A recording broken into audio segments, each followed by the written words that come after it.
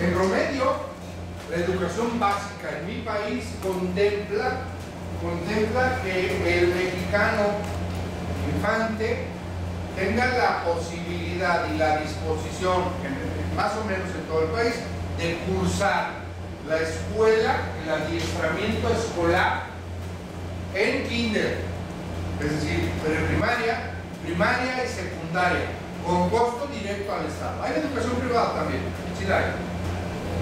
Pero el mexicano que no tenga recursos, generalmente en la infraestructura hay kinder, primaria y secundaria.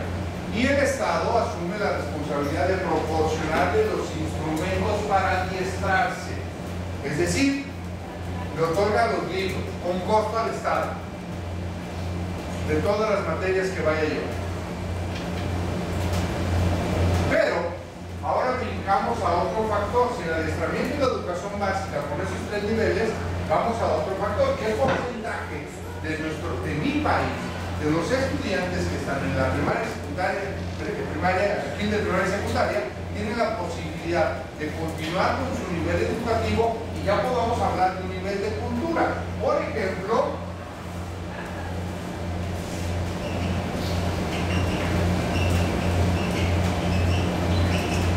La cultura, que es una circunstancia diferente, diferente, la educación genera la cultura es diferente a cursar una materia. Nos hace cultos leer, nos da mayor posibilidad de apertura, nos permite ampliar nuestros horizontes y nuestras posibilidades. En mi país, en promedio, en promedio, leemos medio libro al año.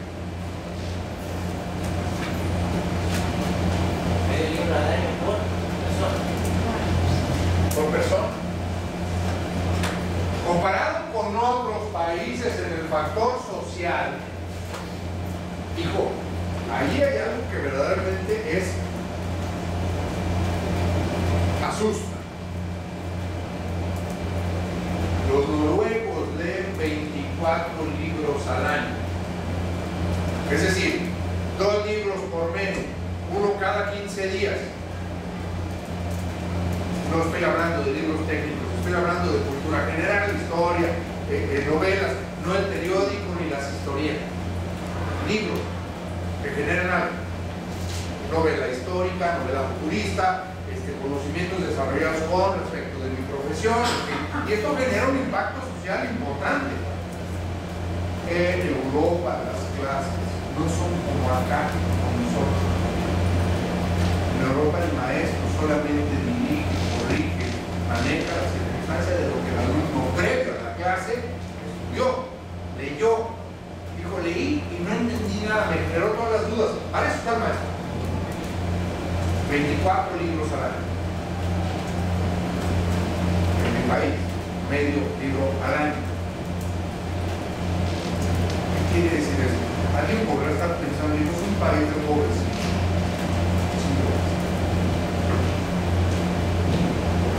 no se ha enfocado a que la calidad de la educación del maestro con el educando sea verdaderamente de calidad. Luego entonces, como consecuencia natural de esto, quienes somos universitarios y más que nos dedicamos a la docencia y más quienes somos beneficiarios de universidades públicas, que reconocemos que los propios recursos de nuestra familia no hubiésemos tenido la posibilidad de convertirnos en profesionistas, reconocemos el esfuerzo que hace mi universidad y, y nos esforzamos por serlo. Y nos esforzamos por venir a estos foros y presentarles a ustedes lo mejor que tenemos nosotros, con nuestras limitaciones. No me da vergüenza decir la verdad en mi país, no, ¿por qué? Tengo que decirla, si no nada va a cambiar. En el análisis que tendrán que hacer en la segunda vuelta de esto, tendrán que hablar todo de la realidad social que viven ustedes. ¿Qué va a generar todo esto que hemos hemos analizado. Voy a otro factor social. En, aquí.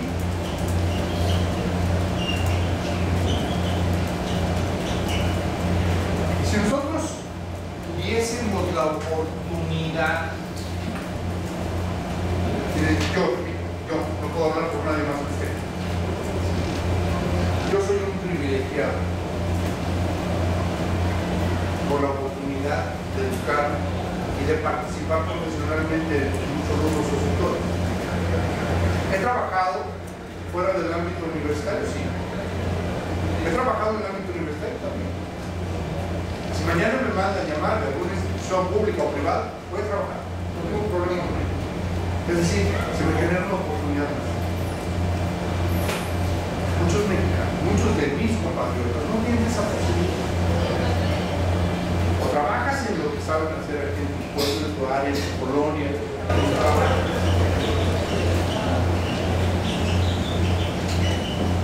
Socialmente también tenemos una implicación como consecuencia natural de todo esto que estamos analizando, que es la demografía. La demografía es la parte de la economía que dedica su estudio a la circunstancia del incremento o disminución poblacional.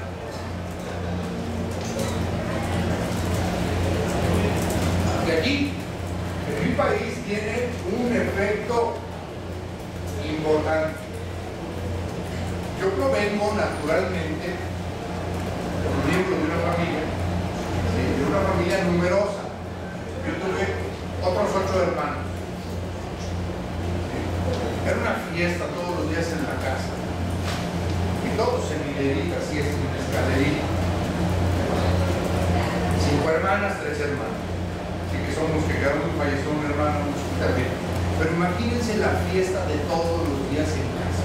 Para sentarnos a comer, a desayunar, a cenar, que era en una mesa, ¿sí? mis papás, mi, papá, mi mamá y los, mis otros hermanos. Era una revolución. Hace rato preguntaba si aquí comían tortillas, ellas.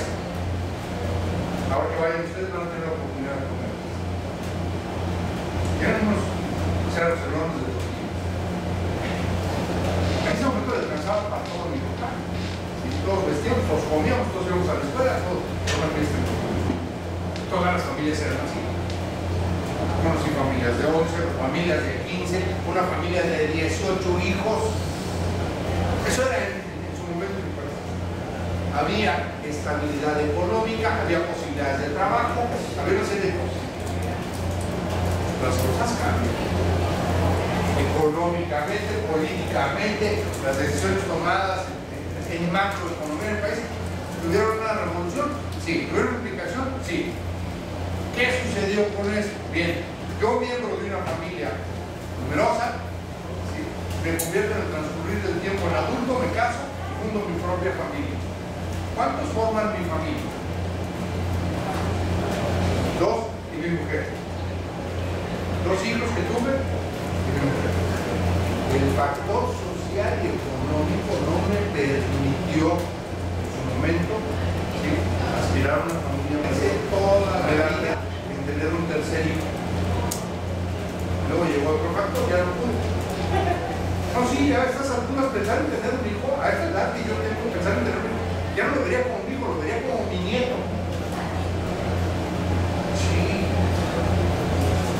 Una familia de dos.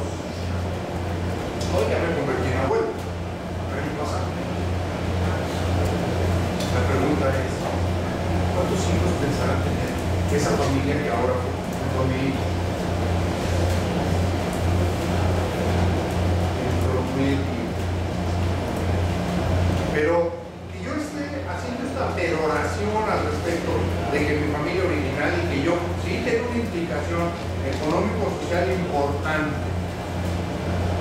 Hacen menos mexicanos.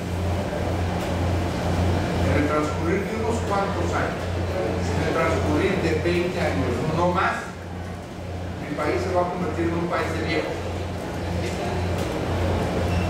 Si yo logro vivir 20 años más, y para entonces yo tendré 73 años, y la capacidad laboral de mi país va a disminuir, van a tener que ofrecer trabajo a los viejos. Llegará la tasa de natalidad de mi país si se vuelva cero o negativo, que muera más gente de la nace. La capacidad productiva de desarrollo, de investigación, de todo el potencial del capital humano que podría tener mi país en ese momento, se va a ver afectado. Sí, lo vamos a tener que empezar a prever desde hoy o a convertirnos y adecuar la economía y las situaciones sociales a un país de viejos. ¿Qué consecuencia tiene esto? Hace un rato mencioné una parte chusca de los alemanes. Hoy les voy a mencionar una parte que puede ser una oportunidad para nosotros los latinos. Anualmente Alemania importa 20.000 seres humanos jóvenes. Necesita que vaya a poblar Alemania. Se están despoblando. La primera economía de la Europa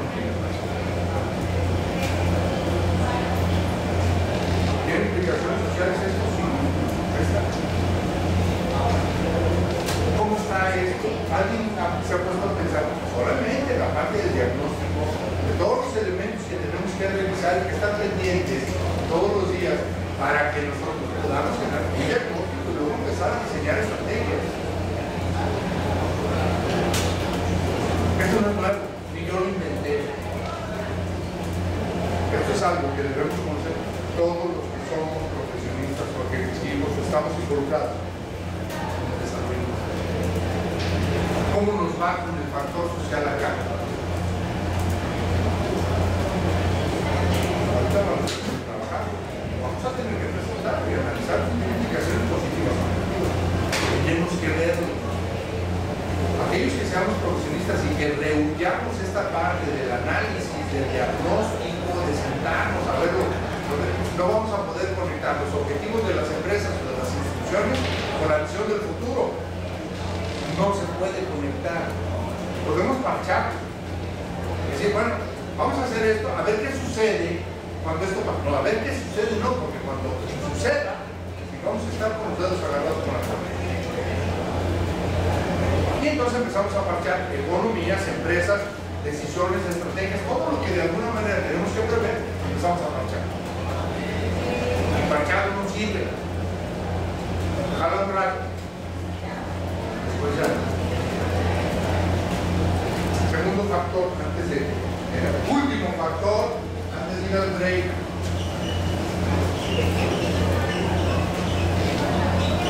Y aquí, para iniciar la presentación de esto, quisiera preguntarles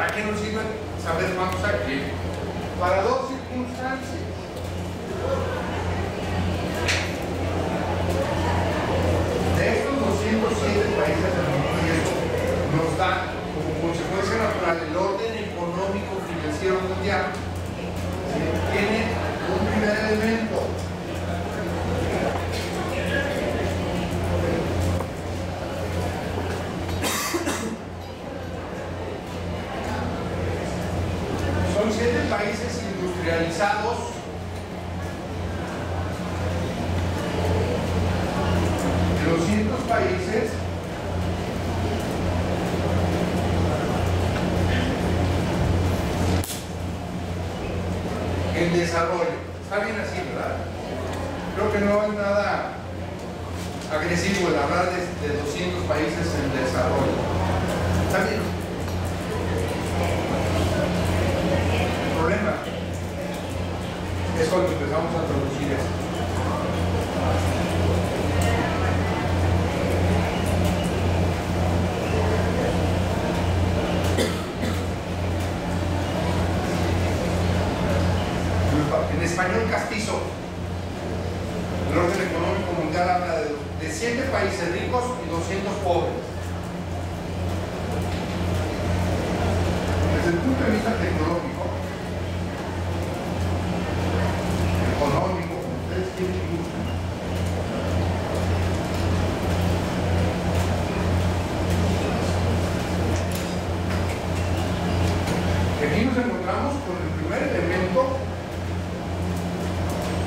en el orden económico mundial. Hay siete países productores de todo lo que en algún momento dado podríamos considerar como satisfactorio sí, y 200 consumidores. Siete países ricos, 200 países pobres. Pero no solamente es eso. ¿Cómo se mide la tecnología? El desarrollo tecnológico de un país.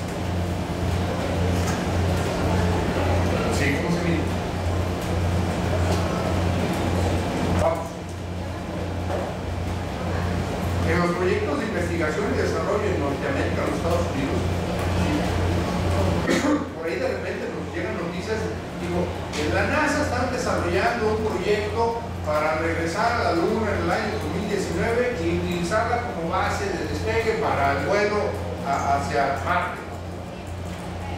Y nos hablan de que se va a tardar 100 seis meses de ida y seis meses de vuelta. Nos hablan que el problema principal que, se van a enfrentar no es ni, ni que a impulsar a la nave, nada, nada. Se encuentran nada más con un problema. ¿Cómo van a producir alimentos allá de la nave para que la gente vaya y venga bien? ¿Se entendió lo que les expliqué? Lo que, lo que manifesté. El problema de están diciendo cómo producimos alimentos en el espacio para que una tripulación vaya y venga con bien. ¿Cuántos de los que estamos aquí sabemos, consideramos que en nuestras ciudades, en nuestros países, en nuestras empresas, los proyectos tecnológicos son de ese tenor? La tecnología dice, ¿cómo, ¿qué hacemos con la tecnología para que mejore el nivel de producción, el nivel de vida y de salud de los seres humanos? La tecnología tiene que ver con que me duele la cabeza y voy a la, farmacia, oiga, un medicamento para el dolor de cabeza, mire, tenemos esta variedad. Cualquier. Un medicamento para curar o para paliar una enfermedad, ahí está. En la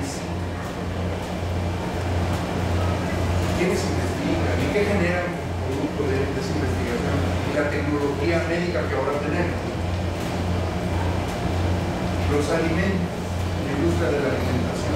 ¿Quiénes investigan y qué desarrollan en alimentos para que los que estamos aquí mañana seamos consumidores de ellos? Oye, ve y tráete la Coca-Cola, no hay problema. Oye, ¿qué tiene la Coca-Cola? La Coca-Cola te dice ya no tiene cafeína, ya no tiene esto más esto, ya no engorda, ya- todo se lo tiene. ¿Quiénes son encargados de eso? Luego entonces, esto tiene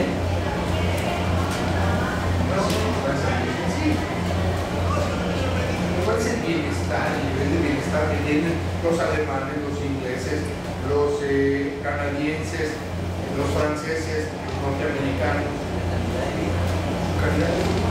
El costo de su vida y su posibilidad. Fíjense bien, no solamente de tener un buen nivel de vida en la calle, que haya seguridad, que haya iluminación, que haya infraestructura, que las carreteras sean gratuitas y que tenga la posibilidad de comprar constantemente, cambiar de automóvil, no se una serie de cosas, pero en capacidad de ahorro que yo tenga capacidad de ahorrar de mis ingresos y proyectar ese, ese ahorro al futuro. Es decir, no solamente tengo una pensión destinada al futuro, también yo tengo mi propio esquema de pensión. ¿Cuántos hablamos aquí de la tecnología? Sí, podríamos decir, en mi país si hay investigación tecnológica y desarrollo tecnológico y lo vendemos al resto del mundo. Esto genera un orden y también un nivel de vida. Ninguno de los que está sentado aquí está utilizando el sistema antiguo de aprendizaje. Todo el mundo trae tecnologías. Todo. Ha modificado, ha aspecto educativo, la tecnología que tenemos. Ayer llegando aquí al aeropuerto, bajé del avión, iba saliendo y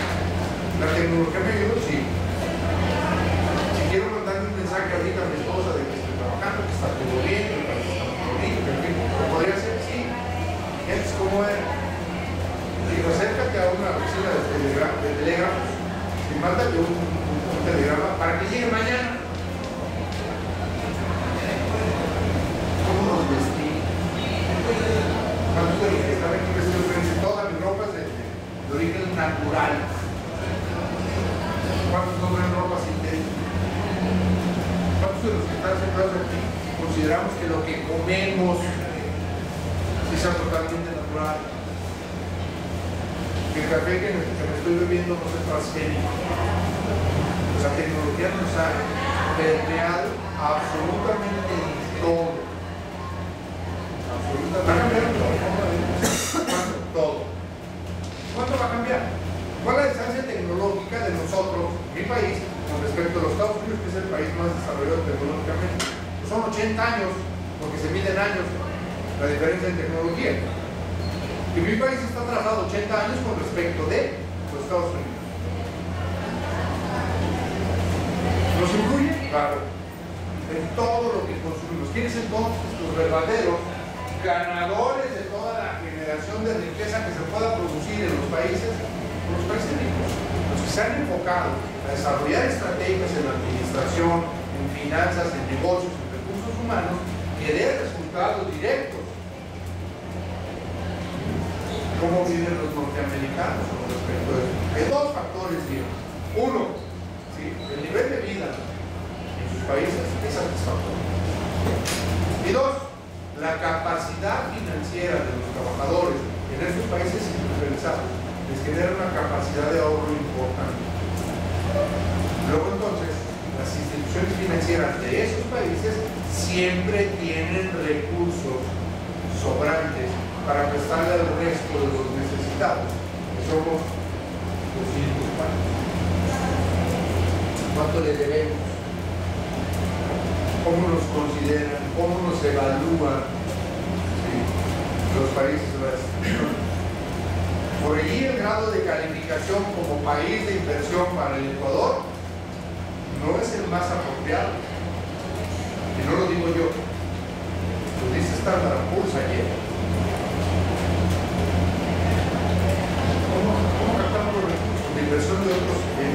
De otros países? ¿Cómo hacemos interesante este país para que pueda estar en el capital humano, en lo que ustedes puedan desarrollar, en las estrategias, en las circunstancias, en la capacidad de las herramientas de esto que estamos trabajando, para que lo usen a partir de hoy, no de lunes que yo ya no esté, de hoy, y hoy empiecen a hacer su examen, sí, hoy, que empiezan a desarrollar el trabajo de investigación que vamos a tener que presentar el domingo, hoy. Esta es la primera parte. A mí me dijeron ayer, por lo pronto, en la primera parte del diagnóstico, ¿sí? yo creo y asumo que ya di una herramienta real ¿sí? que pueden utilizar a partir de este momento como elemento que pueden utilizar no mañana o lunes o algo que tenga que hablar de investigación, no, ya es que todo el mundo para que yo pueda aprender a decir estoy administrando capital humano debo buscar el capital humano. ¿Qué es el capital humano?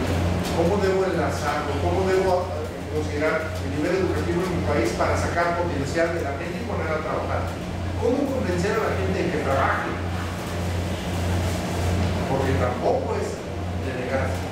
Así que, que en todos los países del mundo, en los ricos y los pobres, existen gente lista, gente no tan lista, gente con iniciativa, gente que solamente está diseñada, diseñada para formar parte de la masa laboral general.